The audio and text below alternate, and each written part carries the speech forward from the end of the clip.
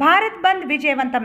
అనంతపురం జిల్లా మడకసిర పట్టణంలో సోమవారం జరిగిన బంద్కు అన్ని పార్టీలను కలుపుకొని బంద్ నిర్వహించడం జరిగింది. ఎన్టీఆర్ సర్కిల్లో కొందరు నాయకులు మాట్లాడుతూ దేశంలో పెరుగుతున్నటువంటి పెట్రోల్ డీజిల్ ధరలు మరియు నిత్యావసర వస్తువుల ధరలను తగ్గించాలని ప్రధాని నరేంద్ర మోడీకి వ్యతిరేకంగా నినాదాలు చేశారు.